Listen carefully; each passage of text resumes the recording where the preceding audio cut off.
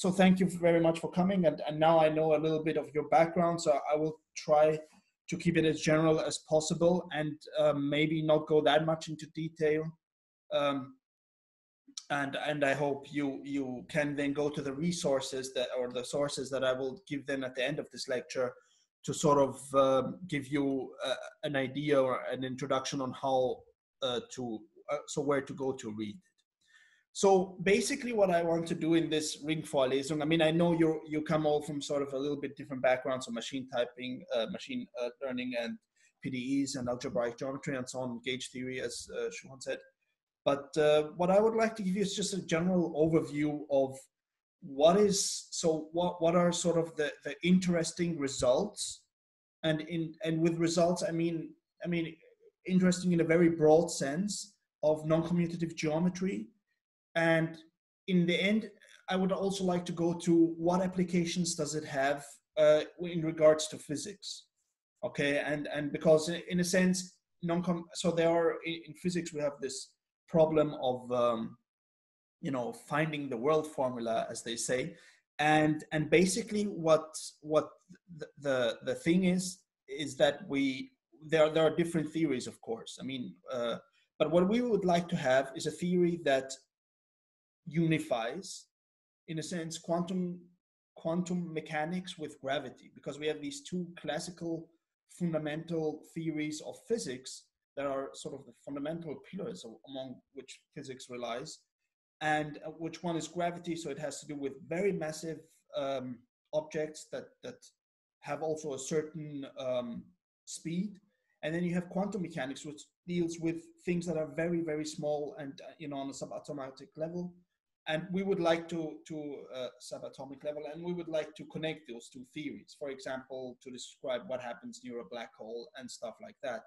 And it is not clear how to do it. Okay, so this is sort of a little bit what uh, yeah, what differs a physical point of view from the mathematical one is that we don't know how to do it in the beginning, and um, right, and and now and we are trying sort of to um, right to to to figure this out. Um, okay, sorry. So in a sense, there, there are many um, many paths to that. So there is there's string theory, there is loop quantum gravity, and um, and a lot of paths. I mean, I cannot. I mean, uh, one and a half hours wouldn't be enough to tell you about all the possible and um, all the possible paths that that should lead us to a theory of quantum gravity. But one which I uh, followed during my, I mean, short career up to now is is the the, the path of non-commutative geometry and in, in particular uh, rigorous deformation quantization. I will explain what this is, but in general, I just want to give you an idea of what is non-commutative geometry, what we deal with, what um, aspects are interesting and, and can be applied sort of to any modern day uh, mathematics, and, and then try to, to convince you in a sense uh, of what the physical um, motivation is to to to to work with that. So um, sorry, I, I, I'm I'm a bit annoying maybe, but uh, could you tell me if you can see my screen? So the so just a simple yes from anyone would suffice. So the the PDF that I opened. Yeah, we also see your mouse. You see the the the PDF and my mouse. Yes. Okay, perfect. Thank you very much. Um, so um, uh, yeah, so the, the nice thing about Zoom is that you can also do interesting stuff with it. So here, amount, all right, and spotlight. Okay, so um, so I will give you first a, a mathematical teaser, sort of to non-commutative geometry, as I call it. Sorry. Um, right. Uh, Okay. And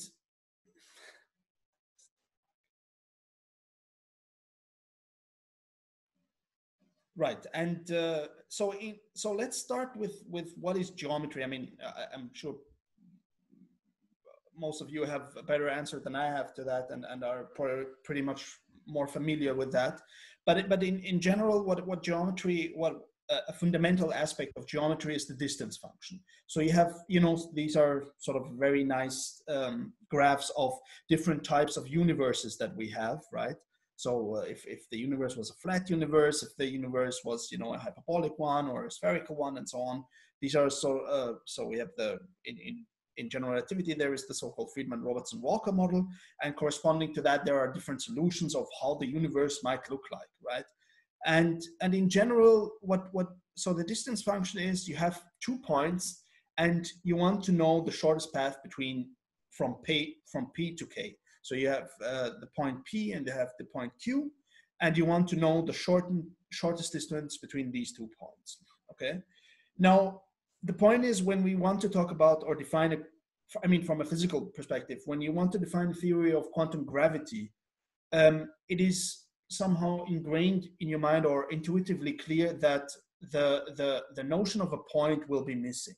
And that is due to quantum mechanics. So the question is, what happens to the distance function if the notion of a point is missing? So how, how would we still give you know meaning to the word or to the to the aspect of or to the concept of of distance and so the two questions that I ask here is what happens if the notion of a point is missing?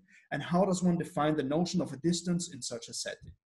And one example how to do that is quantum mechanics. So, um, I mean, in quantum mechanics, sorry, it's not an example. In quantum mechanics, this is exactly what happens. You have, so just to explain to you, it to you broadly, um, you, you basically, in classical mechanics, you have some particle and it moves, you know, along a certain trajectory with uh, a certain uh, momenta, right? And the, the, if you collect the momentas and the coordinates of this particle, they make up what you know in, in mathematics or in symplectic geometry as the so-called phase space. But uh, in quantum mechanics, uh, you cannot well, measure with absolute accuracy the, the momenta and the coordinate of a particle. Thus, you have to work, instead of working you know, on, a, on a classical symplectic manifold on a phase space, you work on a Hilbert space. So, um, and, and quantum mechanics basically is the fundamental theory describing dynamics and interactions on a subatomic level. However, um, you know, they, they are in such a way that they are not too, um, what do we call it? Well not too quick okay? I mean so yeah okay that that in in so you see in, in quantum mechanics we have um, well in in classical mechanics things cannot become too quick because if if it, if the the velocity reaches the point of uh, the speed of light or i mean is near the speed of light then our classical concepts break down a little bit. And quantum mechanics takes into account sort of on a, uh, the physical aspect in a macroscopic level, but um, just quantum mechanics alone is sort of the classical aspect, so it does not take into account what happens if these subatomic particles move very quickly. For that, then you have relativistic quantum mechanics, which then turns on into um, relativistic quantum field theory, and, and, that would be the more uh, fundamental theory for that. But I mean, in a certain aspect, quantum mechanics describes enough so that we can build a lot of stuff that we use on a daily basis and understand or yeah, misunderstand the world around us. So, so classically, you know, I there is this. I mean, there are many pictures that they always draw to you when you. Sorry, I just want to mention that as well. If if so, this is more of I am telling you the story of stuff, and uh, I, I, hope I can go a little bit deeper. But you can interrupt me anytime for any question, so that we can also have a discussion. So, since that aspect is obviously missing, since we're not, you know, I don't see your faces, and and and we're not physically uh, present. So um, classically, you have the state space, that is given by some symplectic manifold, which we sometimes call phase space.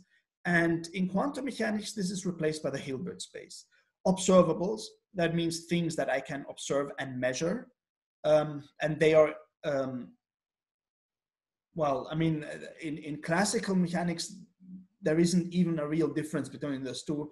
In quantum mechanics, there's a whole lot of difference between observables or operators that represent observables and our measurements. But however, in classical mechanics or in classical physics, they are just given by classical functions on this phase space. And in quantum mechanics, they are given by unbounded operators defined on a dense subset of the Hilbert space.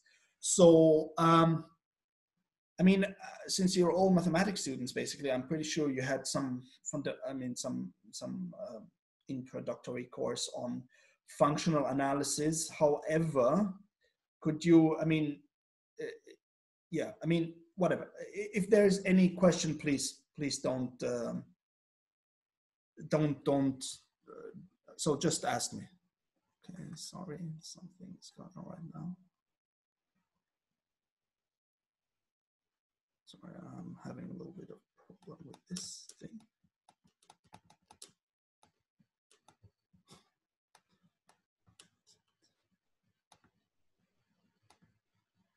Oh, sorry. Sorry, let me stop sharing for a second. And share again.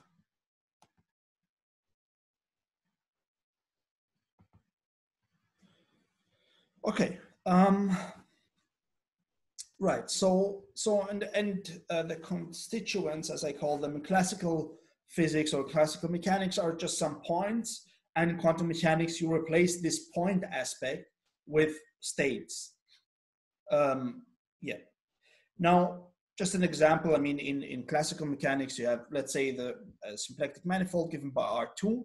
So you have the coordinates x and p, and you have some function f and f of x and p that uh, sort of describes the dynamics of this particle. Now the observable x is identified with the coordinate and p with the momenta.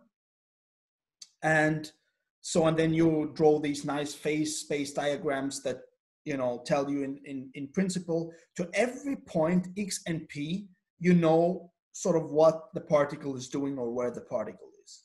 I mean, that, that is sort of the, the, um, the idea of a phase space and well it is the cotangent space of the co, co configuration space as well but that's maybe not that interesting and in general any i mean for our aspect so in, in general any choice of generalized coordinates xi define conjugate momenta okay so you have xi and pj in the Poisson bracket are equal is equal to delta ij where i and j goes now from one to the dimension of of that um, Right. And now, so so this is the Poisson bracket, and it is defined in in a certain way where it's defined by the by the derivatives with respect to one coordinate and the and the derivative with respect to another coordinate, and they fulfill anti-commutativity, so they're anti-commutative.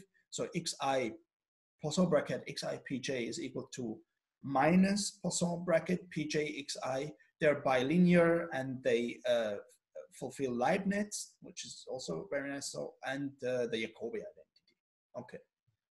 Now, in quantum mechanics, the point is you have you have an analog of that, but in general, um, and and this is this is in a sense really the the the, the heart of quantum mechanics is that the momenta and the the the coordinate do not commute. When so do not commute. Sorry, let me try to write here something. Um, kind of right, yeah. So, so the point is that you have you have these two coordinates, right? Or you have these two observables. Now there's a particle moving in some field, okay, around. Now you want to measure those, and the way I mean measurements are done, you do a lot of them. So let's say a hundred, a thousand, and then you take the mean value of that, and then there's an uncertainty also to that. But this uncertainty in classical worldview is just a probability issue, right? While in quantum mechanics, it's ingrained in the theory. So that the uncertainty, so this basically uh, translates to the uncertainty of the coordinate times the uncertainty of the momenta is always greater equal than a certain constant. This is called h bar, which is the Planck um, constant, which is, uh, it has some certain value, but it is very small, okay? So on a day-to-day level, you don't notice that you cannot put a particle in p equal to zero, and then you know exactly where the x of it is. So then the uncertainty of p is, is zero. So you don't notice it. But in, in quantum mechanics, in a sense, there, there is a there is a restriction to that. And um, and this restriction, I mean, Heisenberg later on went uh, on to do this via ma matrix algebras because he realized, okay, matrix algebras are an example of algebras that are non-commuting. Oh yeah, so the commutator of two operators, uh, for you who, who don't um, recall it, is basically A, so the commutator of A with B is equal to AB minus BA. Now, um, I don't know how familiar you are with functional analysis. As I said, please uh, interrupt me anytime you want. Um, so, so you, so here you have an abstract algebra. Usually, I mean, or this algebra is called the.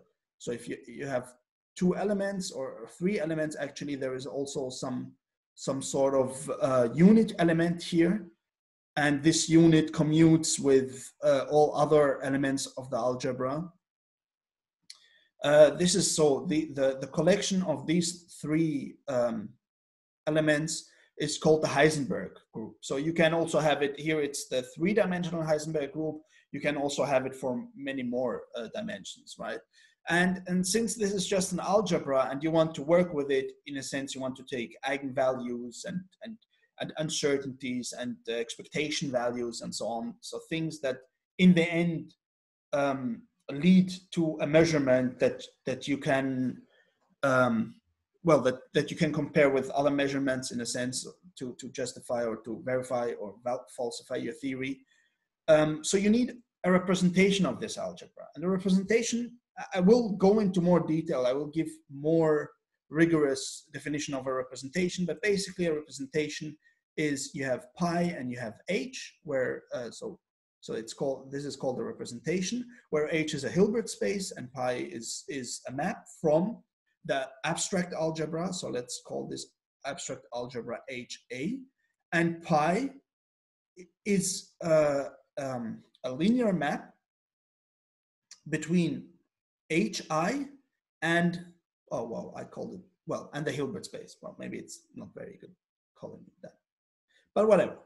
You know what i mean. So it's it's basically a representation of the algebra on a hilbert space and a faithful representation means that the kernel of this representation is equal to zero so it's, it's the null space and so so uh, we say so in order to represent this abstract algebra uh, we use the the Schwartz space which is sort of a subset of the of h which is uh, let's take the square integrable functions on R, right? And okay, the Schwartz space, for those of you who are not that familiar with it, is just the space, it's a space made out of all C infinity functions that uh, decay fast enough, even if you multiply them by uh, various uh, polynomials of x and derivations, okay? So you take a function, it's C infinity, you can, um, you can uh, put on it x of, of, of arbitrary polynomial and derivatives and it still is uh, finite okay? That that makes the thing i mean a classical example for that is basically e to the minus x squared okay on r let's say. That that is a very nice Schwartz function. You see if you differentiate if you first of all it's square integrable obviously. Um, second of all you can always so the differential and the the the multiplication with x basically does the same thing, but I mean, you can have here e to the n. So you see, if, if I der derivate e to the minus x squared, I get sort of polynomials of x uh, down and and and it basically you will end up with an expression of xn where n is a multi-index okay and then and this thing is still you know in the supremum um, finite now um, the, the way to represent those algebras is we say x acts as a multiplication operator and P as a derivation operator. Notice, however, if you work on R, these operators are unbounded operators. And for you who are familiar enough with functional analysis, pretty much know that um, that that that unbounded operators um, well, are a mess to deal with. But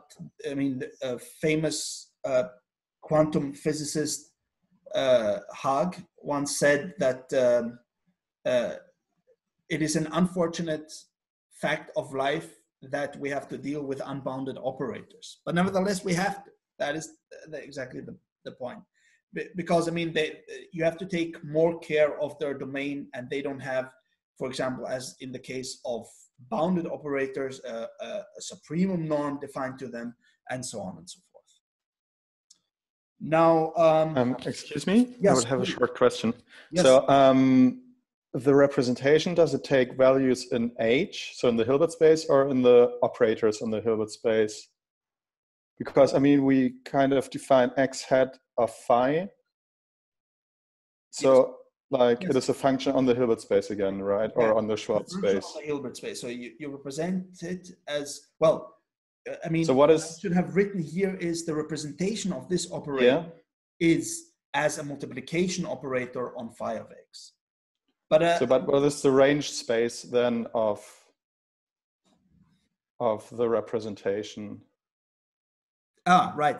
I mean, in this case, it is S of R, right? It is not the whole Hilbert space. So, so that's why I said I, I want to come to this uh, later. You see, the bounded for bounded operators, you can say the representation of an algebra is is basically just you take the algebra and you map it to to um, to the Hilbert space of bounded operators. Okay.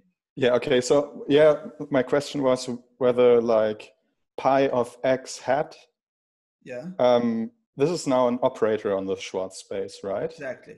Okay, so it maps not to the Hilbert space, but to like an unbounded operator on the Hilbert Exactly. space. Okay, Exactly. right. So that is exactly the difference between bounded and unbounded operators. Bounded operators map to the Hilbert space.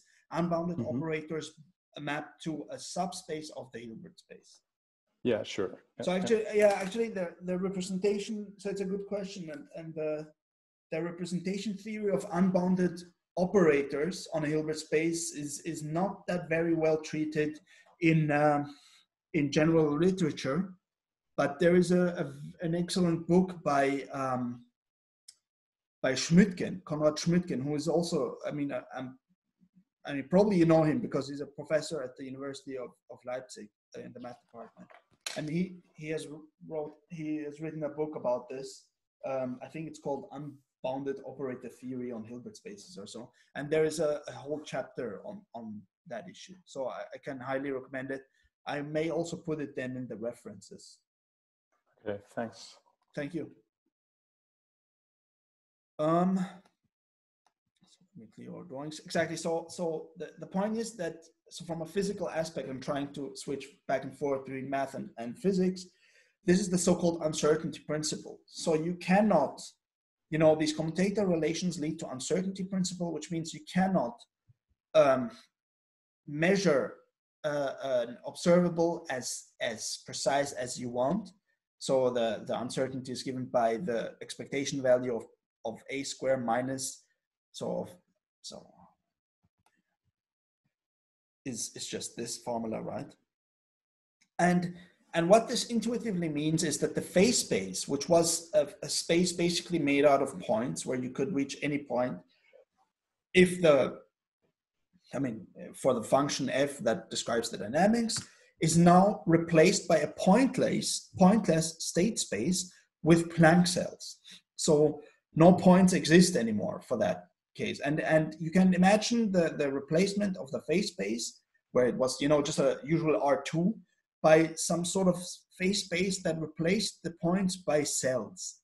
And these cells have, you know, um, the size of h bar.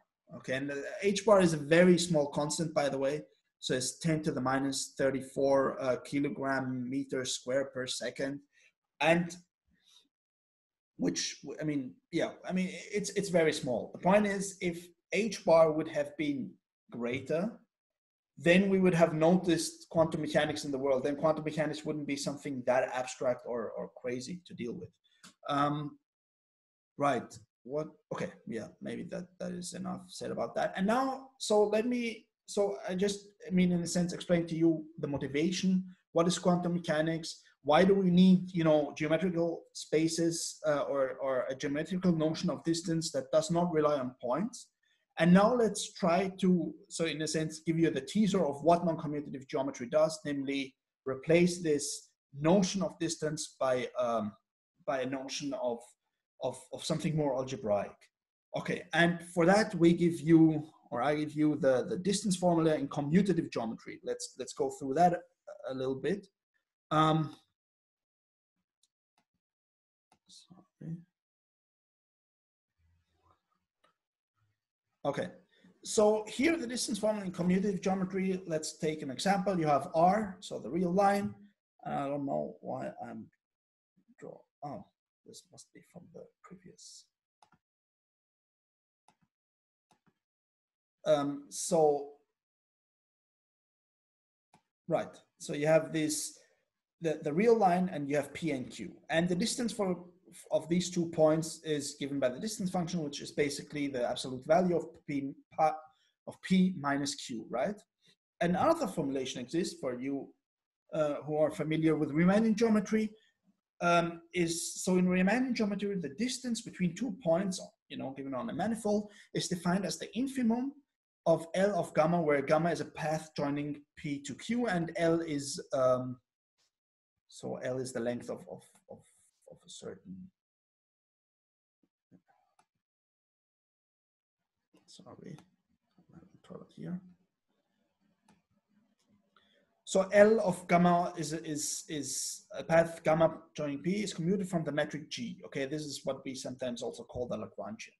And this is basically the, the line element, we call it in, in physics. So G mu nu, dx mu, dx nu, where mu and nu go from one to d, where d is the dimension of the manifold. Okay, so you have this, you you and you take the infimum of this, and then you have the distance function. So for example, the real line, you have r and delta. Okay, so the metric, so the manifold is now given by r and delta, and um, sorry, and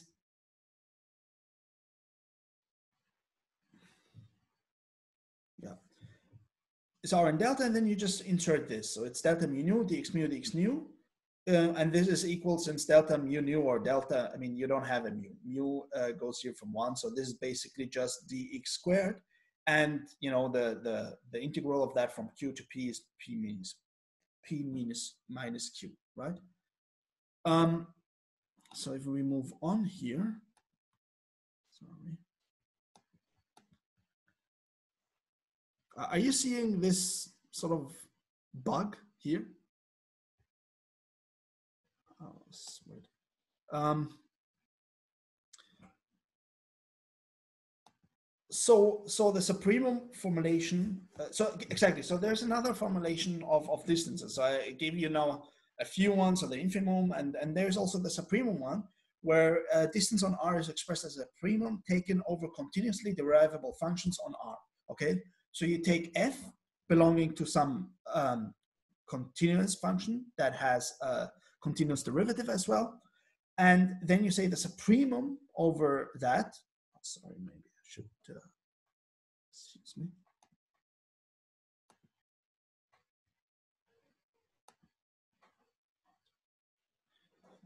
So uh, the supremum of f of p minus f of q and such that f uh, prime of x or the, the derivative of x is less equal than one for all x element r. So the primary objects here are observables f instead of points. Okay, this is sort of the, the nice thing about this supremum formulation. And that works. The advantage is does not use the concept of the path, you know, because path means geometry, geometry, and, and uh, path means metric.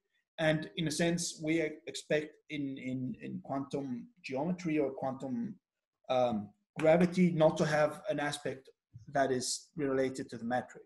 So it does not use the concept of the path and it is thus generalizable to quantum spaces. Um, excuse me just a second.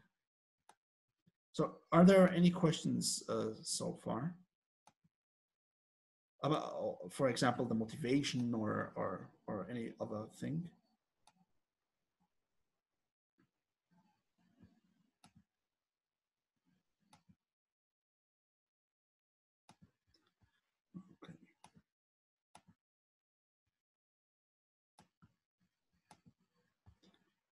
So.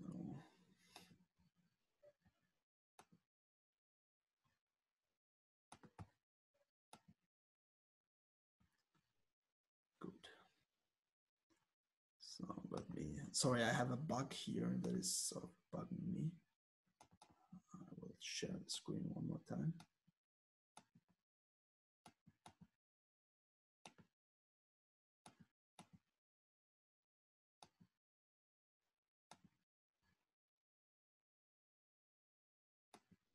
Okay.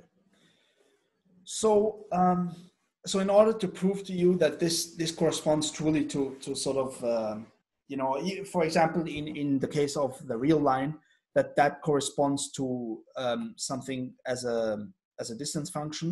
Uh, you consider here the trivial function h, uh, which is you know it just maps x into x, so it's the unit uh, function, and we show next that it corresponds to a supremum, which means a supremum, which means um, that d of pq is equal to, you know, h of p minus h of q, and this is really equal to p of minus p minus q.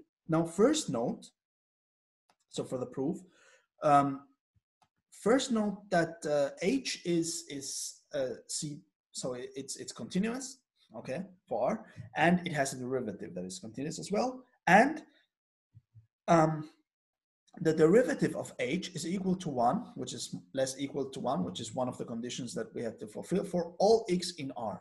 And thus, h is in the set defining the supremum. Okay? Now, suppose h is not the supremum. That then there must exist a function f, which is s, you know, from s1 of R, such that f prime of x is less equal to 1 for all x element R. Okay? Um, sorry, yeah. This would imply that f of p minus f of q is bigger than h of minus p minus, sorry, h of p minus h of q. And this implies that f of p minus f of q is bigger than p minus q. But now by the mean value theorem, there exists a c, a constant between p and q, such that the mean value of f prime of c is equal to f minus p, f of p, minus f of q, the absolute value of that, divided by p minus q. And thus, from the two previous equations, we deduced that f prime of c has to be uh, greater than 1, and this is in direct contradiction with uh, f prime of x being less equal to 1. Okay, and thus we have uh, equality. Um,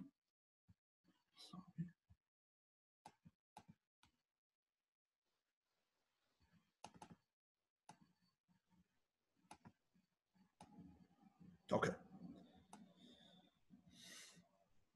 so um, so the distance on R is expressed as a supremum. Uh, we already said that. Sorry, I went back. All right. So now uh, the in, in the operator framework, so our approach to non-commutative geometry, in order to make the distance functions computable with operators and states, as in quantum mechanics. So you see now we have a, a theory basically, or a definition of, of the of the distance, in contrary to to on contrast to the one that uh, was in the infimum uh, that does not rely really on points but the points are replaced by states and functions by operators. And the way to do that is the following. For, i just want to tell you a quick joke sort of. Um, non-commutative geometry um, you know deals with uh, or, or tries to basically formulate a lot of geometrical aspects without the notion of a point. And thus uh, somewhat sometimes it's sarcastically called the pointless geometry, which is uh, sort of mean and, and, and funny at the same time. Okay, I just wanted to tell you. And now uh, the point is we, we define a state omega p, which is associated to each point p as follows. So omega p of f is equal to f of p. This is now our state. So it's a positive linear function. That is what the state is. And next we write the sub expression f prime of x less equal than zero for all x element r to make it compatible with the operator theory. Now, the way we do it is exactly by the way I showed you by taking the representation. So um, since, since x is uh, the, the, you know, since x, x hat was the, uh, how do I say that best? So x hat was the multiplication operator basically on functions of L2, right? But or you know, uh, to be more precise, on a dense subspace of L2. Okay, and now that means that any function f can be written. So right, and now you can take a function of this x hat, phi of x, you know, and oh yeah, and and now the x hat here represents the representation of the original algebra. So basically, yeah, you can write pi of f of x hat or pi of x hat psi of x. Um, and this is then just simply, you know, phi this this thing. There, I mean, x hat and p hat are um, self-adjoint operators, and for all normal operators, there exists you know the, the the the the, spectral theorem and with the spectral theorem you can actually do exactly things like that that is why it is also very useful in physics and so we can write any function you know uh, even if it's you know a uh, function of an operator let's say for example i don't know e to the power of x hat you know as a multiplication on you know a subset of l2 then f prime of x less equal 1 is equivalent to saying that the norm of uh, the, the commutator of d dx f is less equal to 1, okay, where this is the operator norm, okay, because, I mean, you can always take the operator norm. There is no reason to, to not do it. Now, the proof here is the following. Take the commutator of ddx with f on psi. This gives you d dx f psi minus f d dx psi, right? Because the commutator is just, you know, the commutator of AB is just AB minus BA. And this gives you then, you know, the, the Leibniz rule. So this acts on this. So this is basically f prime psi plus f psi prime. And since this is f psi, so this minus f psi prime, this cancels and you have f psi C. So in a sense, the, the, the formulation of this f prime as an operator with a commutator is justified here. And the operator norm is simply given by the supremum. Um, let me clear this for a second.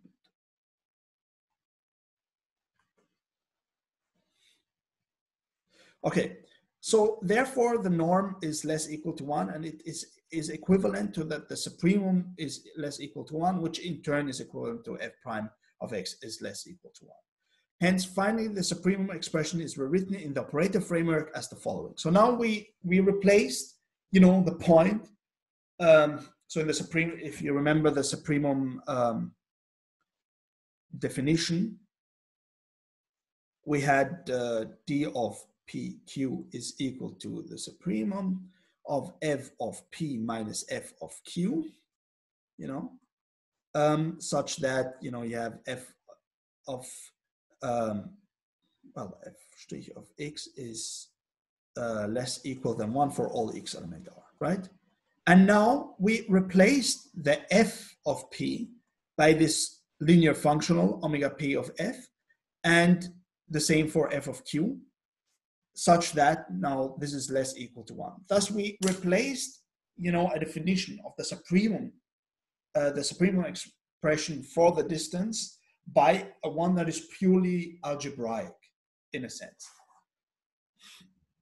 And and so here there is no um, there's no reference to a metric.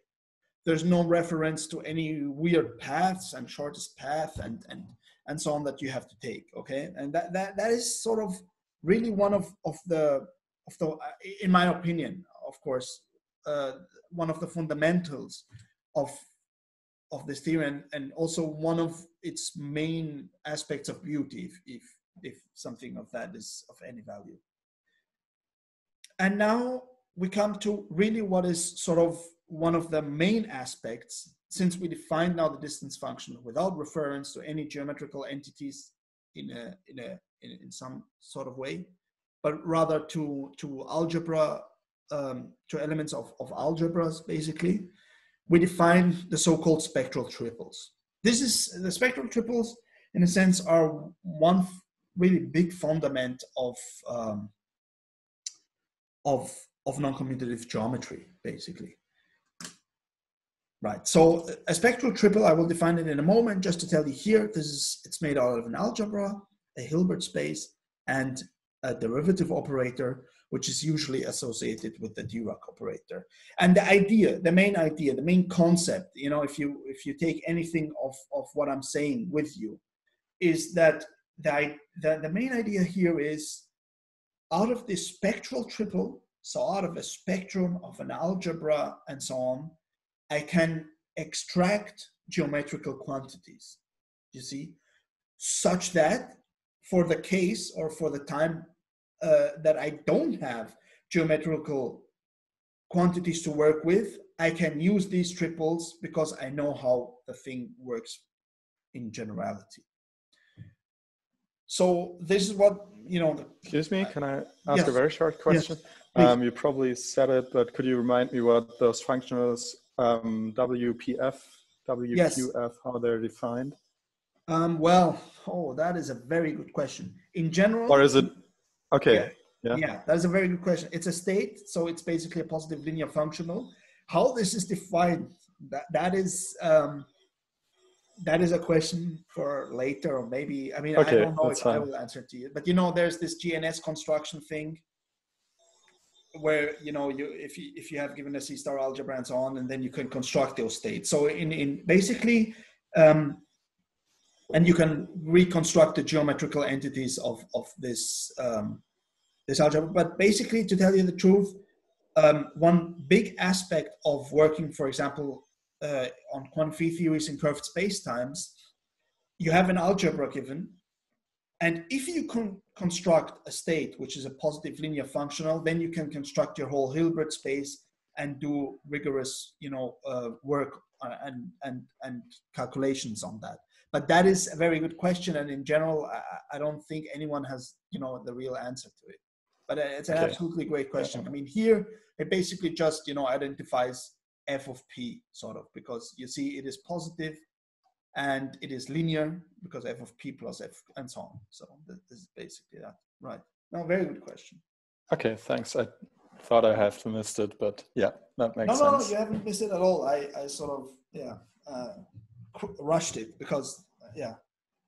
So um, now we come to the Connes spectral triple. So, um, and, and as I told you from an intuitive point of view, a spectral triple encodes the, the, the all the geometrical information, but in an algebraic way. They, they, and, and, please, if you take any sentence with you, it would be maybe this.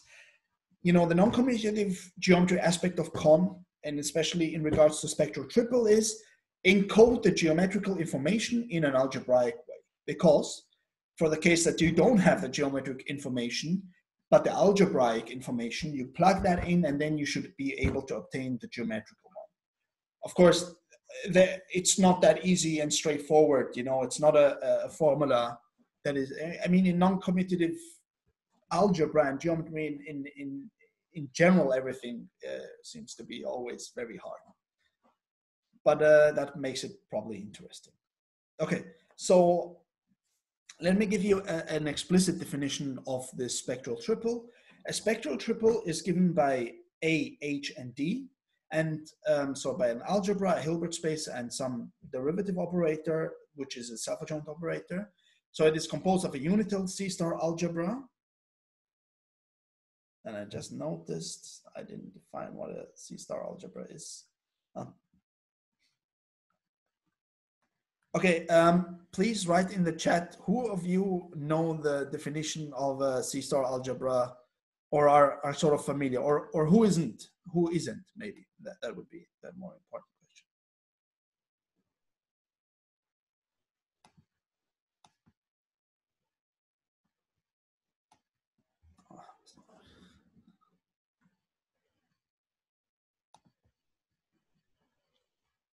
Okay, perfect. Perfect. Um, remember, remember the the uh, this. Yeah, I don't know. Um, I mean, I will define everything from the very beginning. Here I just give a general teaser aspect, but then we will go really more rigorous and rigorous. So don't don't be intimidated right now. I will just give you the very definition and then we will go very clear into, you know, the introductory definitions of all that. So, um, uh, and while I'm on it, um, how familiar are, are uh, so is anyone not that familiar with Hilbert space or Hilbert spaces? I mean, not everyone has to be, of course. I, I got a lol for my pointless geometry joke that I am seeing right now. Um, that, that is nice. So, um, okay, so I, I will go in more detail. Um, the point is, so, and I, as I said, you have an algebra, some algebra, which, okay, is a unital C-star algebra. I will explain in more detail what that means. You have a Hilbert space and you have a self-adjoint operator D, um, which, you know, is a Dirac operator or, or some sort of operator with a compact resolvent such that the commutator of D with A is bounded for all A element A. That is the crucial aspect here. And in this context, if you have two states, sigma and sigma prime, their distance is defined by the supremum of A element A of the you know mean value of sigma A minus sigma prime of A um, for the case that the norm of the commutator of dA is less equal to one, because this is basically what bounded means, modulo a constant right? Okay, just to give you a very easy example, okay, for which you don't need to know a lot actually. Um, the, the, the, the example of a Riemannian manifold. So you know what a Riemannian manifold is. Uh, I guess more, many of you, probably most of you know it better than, than I do. But uh, the, the, uh, so you have, let's say you have a compact Riemannian manifold, okay? So it means that your functions are, are basically all very well defined and so on. And um, a, spectral, a, spectral, triple on this Riemannian manifold um, is defined in the following way. The algebra, so what is a spectral triple again? Me mark this here. So a spectral triple, as I said, is algebra, Hilbert space, and Dirac operator, right? And um, right, and and the the algebra is basically just the algebra of the continuous functions over that manifold okay so you don't um, right you don't take any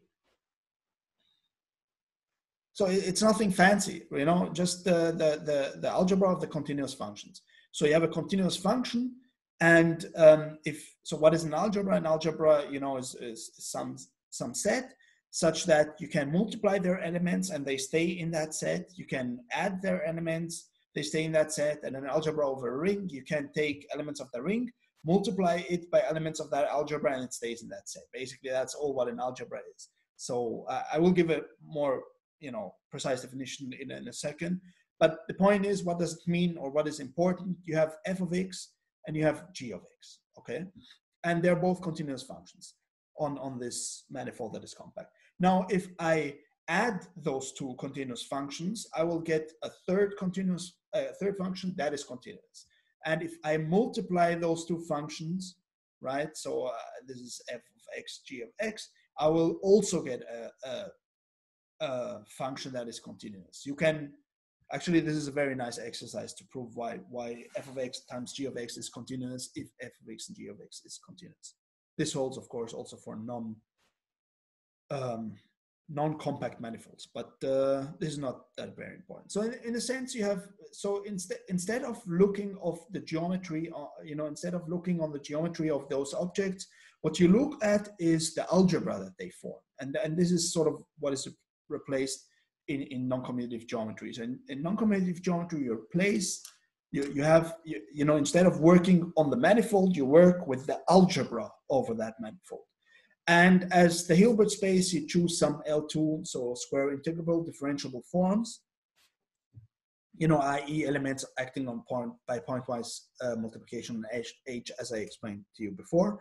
And the choice for a first order differential operator is the Dirac operator because the square of that operator, uh, or not because, but that is a very nice property of that, that the square of the Dirac operator gives you the Laplacian, okay? So and then you have your your your um, spectral triple basically. And for you who, who still remember the introductory course in differential geometry, um, the Laplace-de Rham operator satisfies the following. That is delta. So delta is d times delta plus delta times d, where d is the exterior derivative and delta is the exterior co-derivative. And um, with this exterior exterior derivative, you can build forms. Okay, so um, so basically, I mean, uh, I don't know, it's, it's, gonna even be recorded. I'm not very sure. So okay, take some vector space, right? Uh, I don't know, call it uh, call it x. Okay, you have this vector space, and you have functions over this vector space. Now, if you take um, the derivative, the exterior derivative um, of on elements of this vector space, basically you go from um, from x to omega 1 of x, right? So the one forms, okay? So basically, let's say you have an element of x, which is a, then dA is a one form. And in order to get a two form, you, you well, that you, you, you take omega 1 of x and wedge it with omega 1 of x, and that is how you build your n forms. And one aspect which I hope we, we will reach uh, in the next lecture probably no, not probably, most probably, most definitely, is, you know, in non-commutative geometry is forget about the vector space and deal with the algebra. You take the algebra as your zero form, and then by defining and how that will, you know, um, happen, will will uh, we will see then because that is a little bit more complex. But, but in general, the, the idea is the same. You take an algebra and you define an exterior derivative, and this exterior derivative gets you the one form.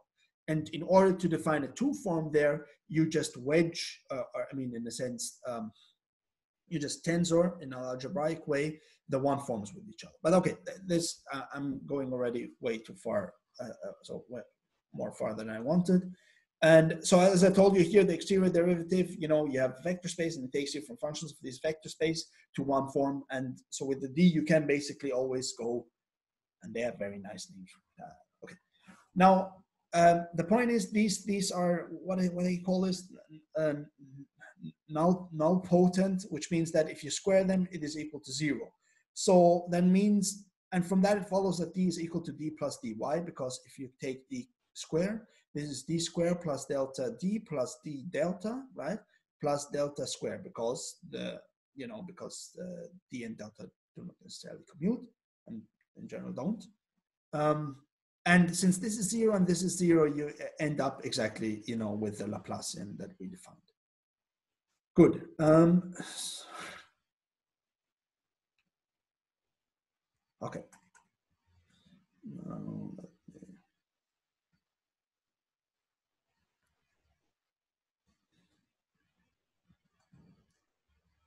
Okay.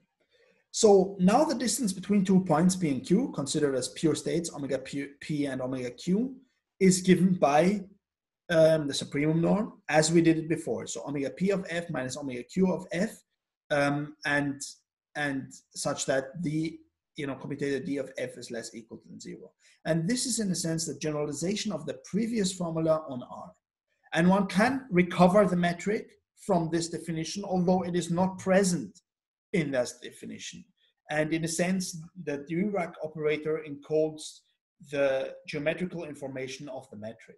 Okay, so this is sort of, uh, yeah, that was the teaser, sort of, uh, just to get you, you know, interested. And um, right. So let me see. Okay. So as I said, the general idea of non-commutative geometry is to shift from topological spaces to algebras of functions defined on them. So next we give definitions and facts about algebras and functions on topological spaces. And this is, you know, exactly such that, I mean, main, so I'm going to go with through all definitions with you. So just that you have, you know, in, in a sense, sort of, um, you know, aspect on how these, these things look. Um, Right. Eh, eh, sorry, before I continue, is there any, are there any wishes that, that, you know, uh, regarding my style or, or something that I can, uh, that I can, oh, wait, uh, Maximilian. Yes. it, it, is exactly that the, the, the resolvent said. Um, I will define it in a second, okay? Uh, but thank you for the question. Um, so, right, with a compact resolvent set. Oh yeah, you're right. I, I didn't. It, it slipped. It skipped my. It slipped my mind that uh, I, I used here the resolvent. Thank you very much for this clear question. Um, I, I will define it in a second. Is, there any other are there any other wishes? Do you want to go faster, slower? Just just like communicate with me. Okay.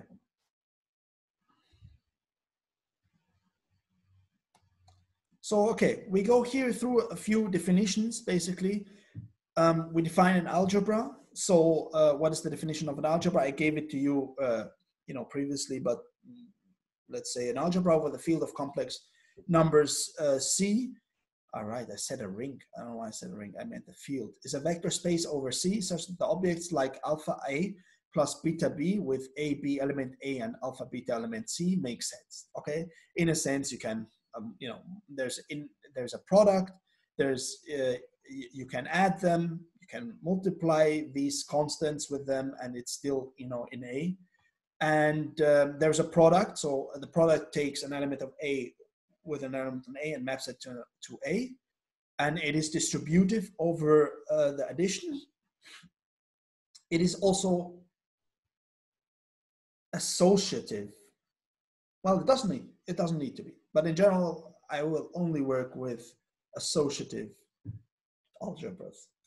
So distributed means A times B plus C. So some product, whatever that product is, so it's not just the point-wise product, but of course, if you work uh, on, on a function space that is commutative, you have, um, so, so if you take the algebra of functions over some commutative manifold, you know, the, this is the pointwise product basically. And uh, A plus B times C is AC plus BC, where A and B and C are all elements of the algebra. And in general, the product is not commutative. And this is exactly sort of the jumping, the jumping point, they say, the, skipping point or the, the important point in, um, you know, in, in, these, in, in these frameworks.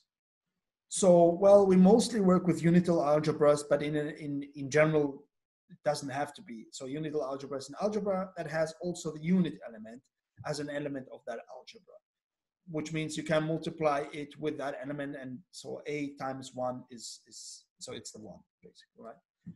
Um, so, sorry, let's see.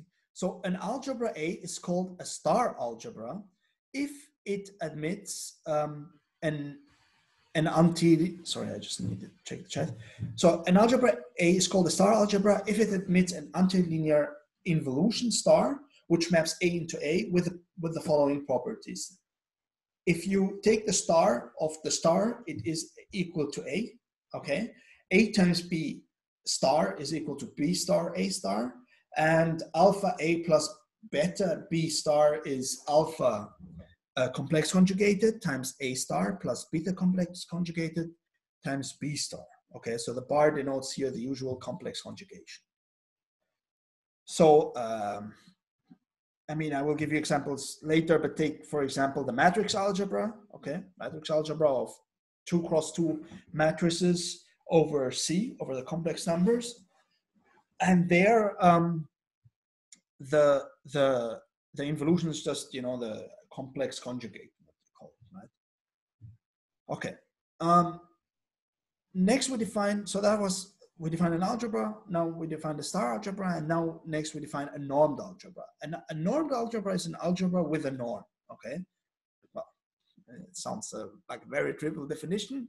Basically, so you have an algebra that fulfills all your nice properties, and in addition, you have a norm. And a norm, you know, uh, is is is a function such that it is uh, yeah well, what a norm defines right? So it's greater equal than zero and only zero if a is zero. It is um, such that um, the norm of alpha times a is equal to the um, mean value of alpha times the um, norm of A, so you can take the A out sort of, and the norm of A plus B is less equal to the norm of A plus B plus the norm of B, and A times B is less equal to A times uh, the norm of B uh, for any A, B element A and alpha element C. Um, so, so I was younger, a little bit younger than that, than today. So actually, I was also a PhD student at the Max Planck Institute, and I was, uh, you know, I, had, I was learning functional analysis, and I, I saw these definitions,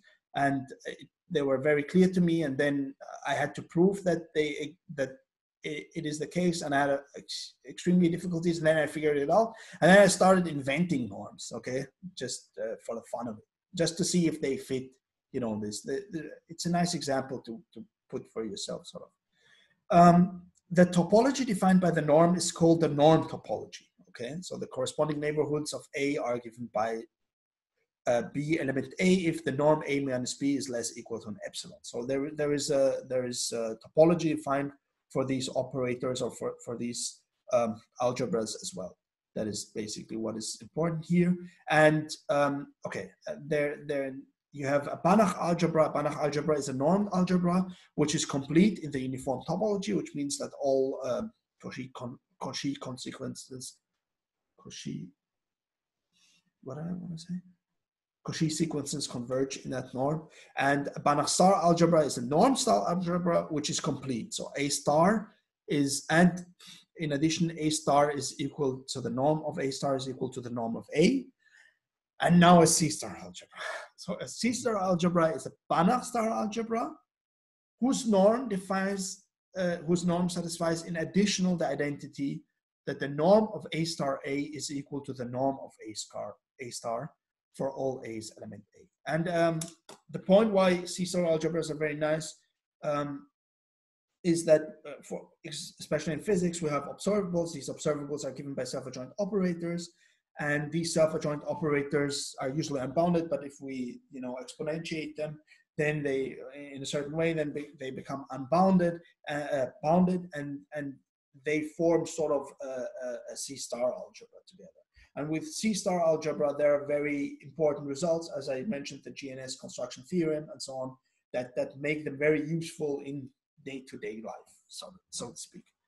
Um, right, so, so this, I, I hope, you know, my quick um, sort of introduction to these things uh, made the definitions easier.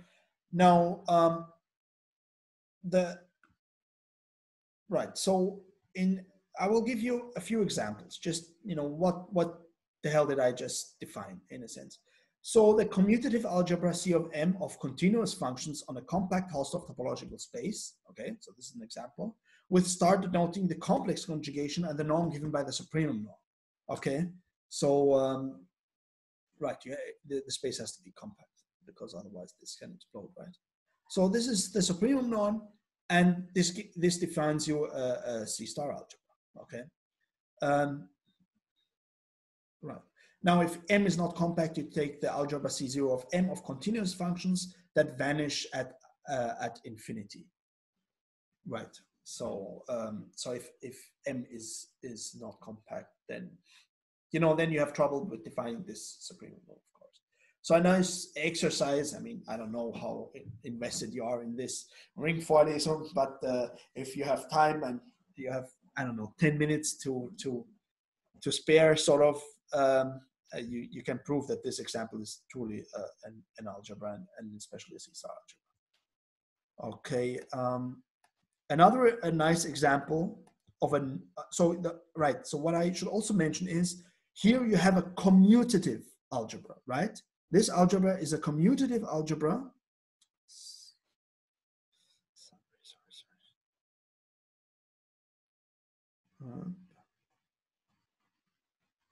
Okay, this algebra is a commutative algebra, right?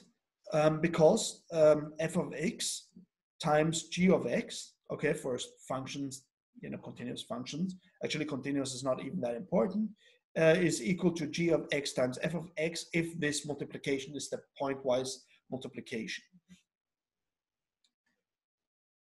But in general, this doesn't have to be the case, right? And maybe let me say uh, mention here one example of a very nice non-commutative algebra. Um, maybe I will mention it later, but just just because it fits here so nice. Um, so you you say, well, okay, give me the commutative algebra over continuous functions. How does a, non-commutative algebra over these continuous functions look like? And then I give you a product. Okay, it's it's it's basically just in the product. The product, let's say f star g of x, or no, let's define it a little bit different. Sorry. Okay, let me define it that way. Um, f of x times g of x is given as e to the power of 1 half theta ij d i d j. Well I could write it like this. And dj um, g of x okay where f and g are now an element of that so this is a product, okay? So this is the derivative with respect to x, and this only, you know, this is an exponential function. You can represent it as an integral. It has very nice integral representation. But it, I mean, in this way, you know, a hardcore sort of mathematician who brute forces everything knows what it means. It means I have an exponential, I can do a Taylor expansion, and the d i acts on f of x, and this dj acts on g of x, and theta ij is some skew symmetric uh, matrix, okay, in um, it, and constant matrix. So it's theta ij. It's just a you know symplectic matrix if you want. And i and j go from one to two, let's say. In that case, this is just the epsilon tensor um, times some constant, and this constant is what they call a deformation constant because if this constant goes to zero, okay, if theta goes to zero, so this is this product is usually denoted by star theta. So in the limit theta goes to zero, f of x star theta g of x go to the pointwise product.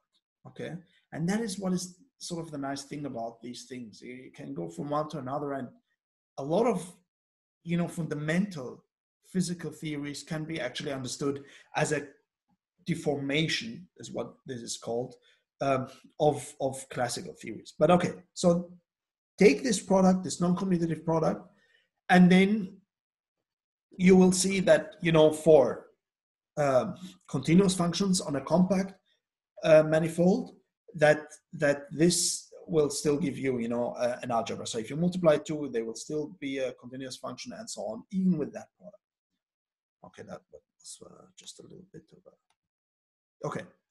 Now, um, so the non-commutative algebra, so an example of a non-commutative algebra is, and one in which is very important, by the way, um, is, is the algebra of bounded linear operators on an infinite dimensional Hilbert space, right? So, um, right, so you, you have a bounded linear operator means on a Hilbert space means you have a norm on this Hilbert space, which is given as a supremum norm and this supremum norm is finite, okay?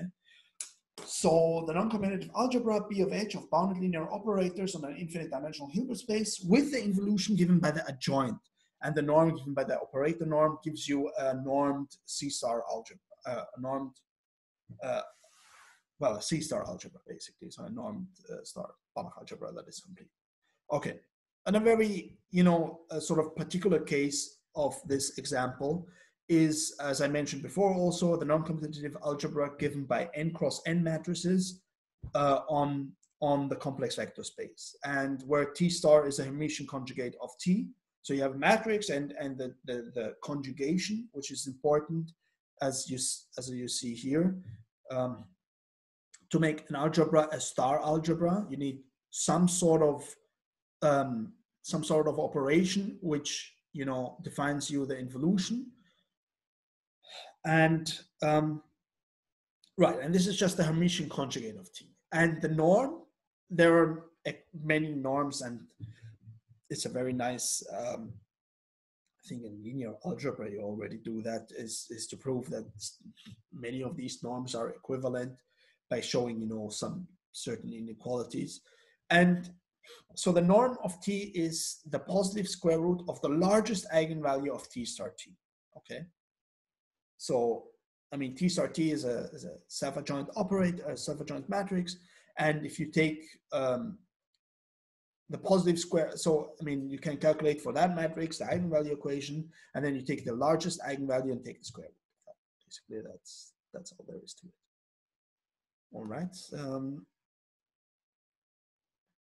right.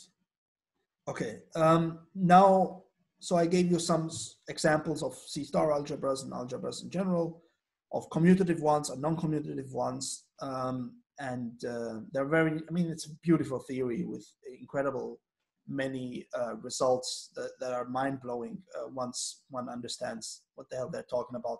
But uh, so, so they're, it's really, uh, I mean, it's really uh, some something else. The, these theories.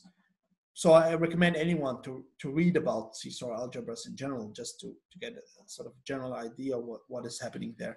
Um, another definition that we will use, maybe not that often, but I will still bring it in, is the the the definition, uh, the the notion of an ideal. So a proper norm closed subspace I of the algebra A is a left ideal, respectively a right ideal, if A is an element of A and B is an element of this I, imply that A times B is in I, okay? Respectively, right ideal if uh, B times, so if A is an element A and B element E such that B times A is an element A, uh, I. A two-sided ideal is one which is both. So it's a left ideal and a right ideal. And the ideal I is called maximal if there exists no other ideal of the same kind in which E, which I is contained. Okay, so that is an ideal. Ideal means, okay, I have an algebra, I have some elements of this algebra, and now I have a subset of this algebra, a subspace of this algebra. I take the those elements, I multiply it with the algebra, and they stay, you know, in this smaller sub algebra because the ideal is also a sub algebra also very nice you know example if you want to calculate it and now um, to the question of maximilian is um, the the resolvent um, uh, set and uh, sorry of, uh, of i said maximilian is it true or was it marcus no it was maximilian perfect so um sorry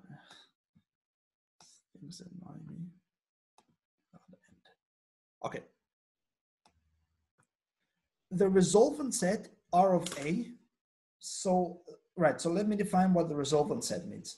Of an element of an algebra is the subset of C such that lambda is an element C and A minus this lambda element of C is invertible. Okay? Where, you know, one, this is the one in, in C. And for any lambda element R of A, so uh, A minus lambda I is called the resolvent of A at lambda. Okay, so that is the resolvent set. Now, why is this resolvent set important? There is actually a lot of work on, on the resolvent set and a lot of very interesting, important theorems on it as well. Um, what I actually, well, I mean, for you, for those of you who are familiar with the Weyl algebra, the resolvent algebra, which is basically the algebra made out of these resolvent sets, um, is a very nice sub algebra to it. Okay, and or basically you can you can do a lot. What you can do with the Weyl algebra, you can do with the resolvent algebra, to a certain extent. And actually, you can even do more. And this is still subject of, of current work. But I mean, in general, why we need it is that the complement of this resolvent algebra, or uh, sorry, of this resolvent set in C is called the spectrum of A. What does the spectrum mean? this, oh, I wrote it here in a German way. So the spectrum uh, for any element of a C star algebra is a non-empty compact subset of C, okay? Um, so, okay, so you, you take the resolvent algebra, okay, and the complement of that uh, resolvent set or resolvent algebra is the, is the spectrum, okay? And what is nice about C-star algebras is that the spectrum for any element of these algebras is a non-compact, a non-empty compact subset of C. Now, uh, the spectral radius of A is given by the supremum of lambda, lambda element of Ri. Um, right, so that's the spectral. And if A is a C star algebra, this spectral radius is just a norm. And what is even nicer is when this element that I'm looking at is a self-adjoint operator or a self-adjoint element, right? So an element A is called a self, self-adjoint if A is equal to A star. And um, well, I mean, yes, I mean, for an algebra, this, this should hold. You know, I mean, the point is for bounded operators, so for a matrix, a matrix is called self-adjoint if, if A is equal to A star, right? But for unbounded operators, this is a little bit more complicated because as, a, as the discussion before, you have to take care of the domain. Okay. Um, and the spectrum sigma of A uh, of is so for a self-adjoint operator is real. And, and that is basically what makes self-adjoint operators, uh, especially in physics, so important because at the end of the day, you want to measure a number, right? A number means a real number. So with a complex number, we cannot do that much. But a real number, which means, I don't know, you measure the temperature, right? Temperature is a real number. Now it's, I don't know, my room, it's 24 degrees 24.9 degrees. Okay, this is the number. Um, and and and in, in order for an observable, you know, in, in, in quantum mechanics, to to have a real spectrum, it has to be self-adjoint. So a real spectrum of of A means that A is self-adjoint, and uh, that means it's basically the the the spectrum is a subset of um, the interval minus norm of A to A okay, on sigma A of scar, sigma of A square is a subset of the interval zero to norm of A square. Um, what is, so, okay, maybe, maybe what you only take with you from here is self-adjoint element of an algebra means I have a real spectrum. Now, if A is an addition to, um, or is, is self-adjoint and it is called positive if the spectrum is a subset of the positive half line. Okay, so A is positive if and only if A can be written as a product of B star B for some, you know, arbitrary element B in A. Okay, so I know this is a little bit, uh, well, we say in, in, in Austria, zach, which means like a little bit boring, but uh, these are definitions nevertheless, and I think it's it's nice to have them there. You know, in any case, you can always look them up. Um, now, a star isomorphism between two C star algebra. So, okay, basically all the definitions I give you, I will use later on. Okay, so please apologize uh, the, the massive use of them. So a star isomorphism between the C star algebras A and B is any C linear map pi which maps the algebra A to B, satisfying, so the algebra A to the algebra B, satisfying P, pi of A times B is equal to pi of A times pi of B, where the product here, so in general, the product here and the product here do not have to be the same, right? Um, so, so it's a isomorphism or a representation as well. Um, which we will define in a second, if PA of star is equal to PA, P of A star. Um, um, yes. I have a very quick question. Do Yes, we require it to be invertible in some sense or? The, the, Because we call it an representation- isomorphism. Right. Um, yes, it has to be right. I'm sorry. This this should have been written there. Yes, it has to be uh, invertible, and right. So yeah, you're right. This this should. I, I think this follows nevertheless from this definition. There are a lot of equivalent definitions, but yeah, you're right. This this should actually. So there should exist an inverse that basically does the same, and I think you can get that out by taking pi inverse of this one. Yeah. Um, and now we come to the, the, the most important thing. So uh, what I was telling you before, um, I was saying to you before for an unbounded, um, for an unbounded, for unbounded operators, and this is the last definition before we close this session. Um, so let me give it to you now for bounded operators and C-star algebras made of bounded operators. A representation of a C-star algebra A is a pair, H and pi, where H is a Hilbert space and uh, pi is a star morphism between A, so the, the C-star algebra A, and the, um, the C-star algebra of bounded operators on the Hilbert space. In addition, the representation H pi is called faithful if the kernel of pi is uh, is the zero space, is the null space. Uh, in the case that you don't have a C-star algebra, by the way, you would have H, pi, and D, where A is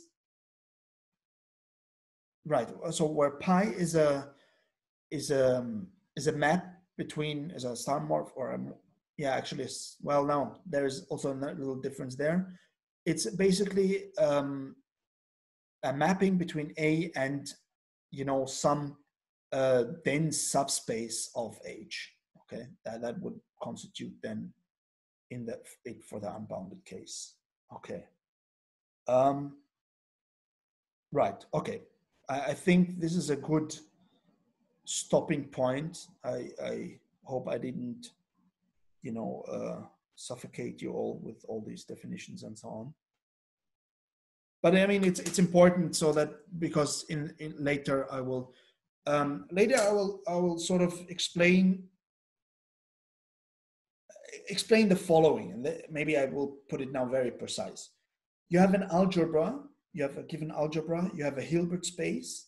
So an algebra given on some function space, for example, you have a Hilbert space that you define, and then you have a Dirac operator or some derivative operator. By taking those three, you can reconstruct the underlying geometry of the space. And how to do that, in order to do that, and how to do it, all these definitions come into play, okay? So that, that's maybe why they're important. But uh, yeah, so I, I think, yeah, I should uh, end this session for today. Are there any other questions so far?